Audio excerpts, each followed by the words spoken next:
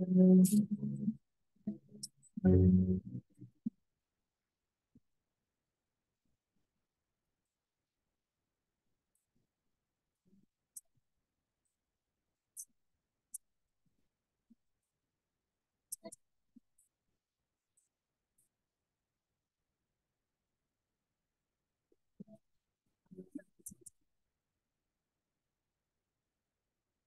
Morning, Willow Springs. I'm Brianna, and you're watching the WSES Morning News Show.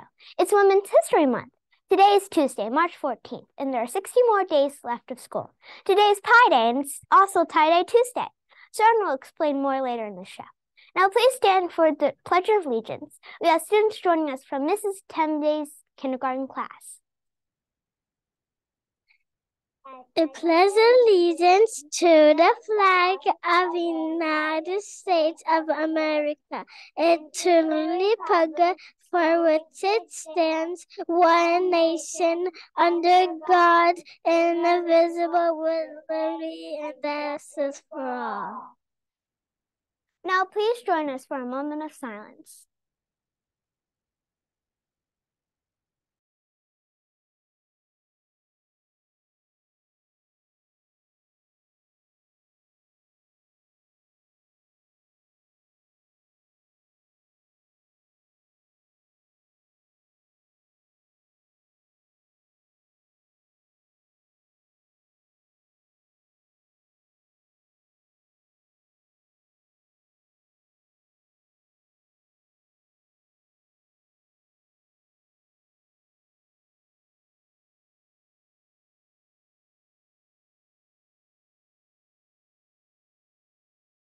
Harriet Tubman, Helen Keller, and today we have a very special guest on WSES Morning News.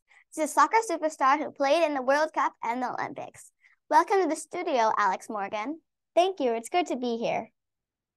How old were you when you joined your first travel soccer team? Most people are super young when they join a travel team, but I was already 14 years old when I joined my first team. How'd you keep up with schoolwork during the soccer season? Well, it was a struggle, but I always put my academics first. And during my college years, I took summer classes and graduated a year earlier than most people, so I could focus on soccer. How'd you get the number 13? Well, it was my idol Kristine Lilly's number, but when she retired, she handed it down to me. Did you also know that that was Miss Hassan's number when she played softball at George Mason? Oh, wow, that's cool. Miss Hassan is the an amazing role model off the field. How are you a role model off the field, Alex? When I'm off the soccer field, I'm in magazines and commercials promoting cancer awareness and fundraisers. Well, that's about all the time we have today. We want to thank Alex Morgan for being our special guest here at WSES. Thank you for having me. Another notable woman is stopping by the studio tomorrow. Have you ever have you heard of J.K. Rowling? Tune in tomorrow to meet this famous author. For now, let's celebrate a few student birthdays. Good morning, Foxes. I'm your birthday anchor today, Ren, and we have five students' birthdays today to celebrate. Happy birthday to William, William in first grade, um, Adriana in third grade, and Cam, Camden and Pana in fourth grade, and Lucas in fifth grade. We hope you have a special birthday.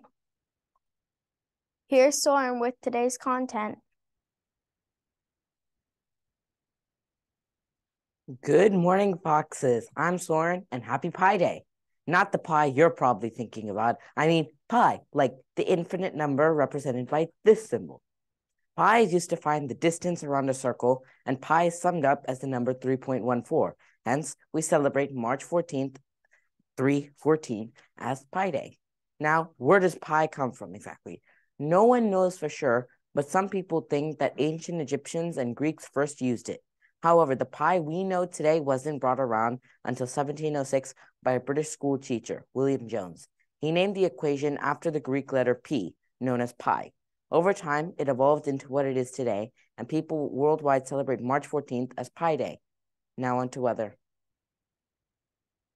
Thanks. I'm Marichi, and I'm going to be your weather anchor for today. Today, it will be near 44 degrees at the moment, it is chilly with wind. Now it's time for a two day outlook. Tomorrow, high will be 50 degrees and still windy. On Thursday, it will be sunny and a beautiful day with a high around 63. Now for one of the most anticipated segments. Here's Ani with today's Tuesday trivia. Hello, Foxes. I'm Ani, and welcome to back to Tuesday Trivia. Teachers, get your phones ready. When I finish reading the question, please call the number on the screen 679 6013. The third caller will get a chance to answer the question. Now, for the moment you all have been waiting for today's trivia question. Today's qu question is What digit is, is in the ones place of the number 314? Here comes our first caller.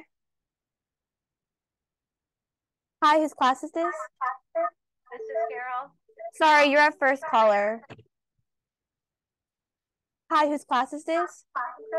This is Wilson. Sorry, you're a second caller.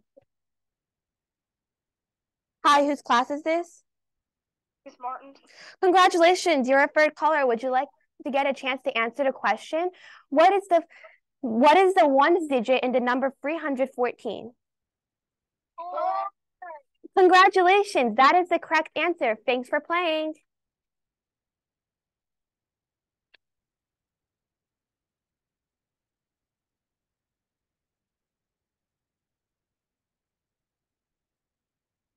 Good morning, Willow Springs. I want to tell you who won last night's fun challenge, and you'll so you can see which students, which class we're going to be students with during the day today. Give me a big drum roll, please. And freeze. It looks like I'm going to see if I'm smarter than a fifth grader because I am going to Miss Holman's class in fifth grade. Give yourselves a round of applause. And I'll also be stopping by Mr. McLaughlin's class in sixth grade to maybe take a test to see if I can handle sixth grade. Great job so far helping your school. Now I'm going to turn it back over to your news team.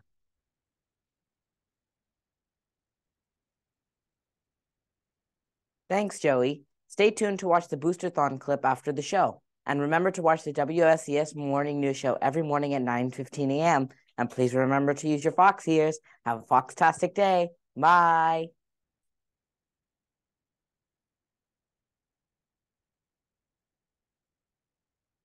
Did you know Zion National Park has one of the scariest hikes in the world? Of course. Why do you think they call it Angel's Landing? Wait, I thought you were afraid of heights. Oh, I'm terrified, but it doesn't mean a guy can't dream. Millions of years ago, when dinosaurs still roamed the earth, the Virgin River started wreaking havoc on southwestern Utah.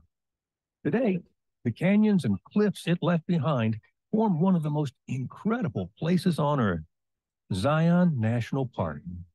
Each year, over 4 million visitors come to explore the park's gorgeous sandstone cliffs, narrow slot canyons, and cascading waterfalls. For over 6,000 years, small groups of Native Americans lived in the area, including the Southern Paiute tribe.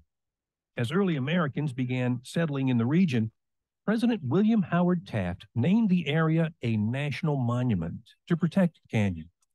In 1919, Congress redesignated the area as Zion National Park. The word Zion is ancient Hebrew for sanctuary or refuge.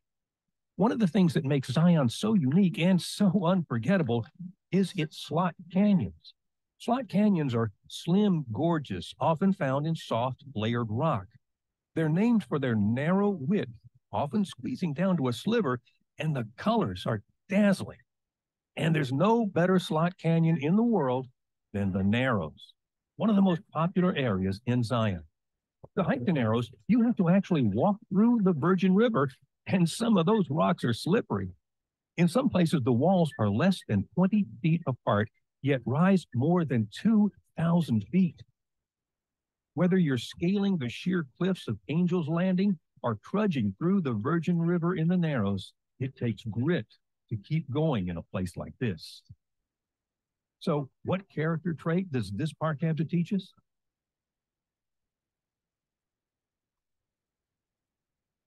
Well, what trait do you think Zion has to teach us? Always bring an extra pair of socks? Grandpa said Zion brings something out of you. It takes grit to explore. I think Grandpa learned perseverance. Huh? Perseverance is about not giving up, even when things get tough. It's about having the grit to keep going even when you feel like quitting. Exactly. So whether it's tackling a new subject or a new sport or forming a friendship, it takes perseverance to succeed in life.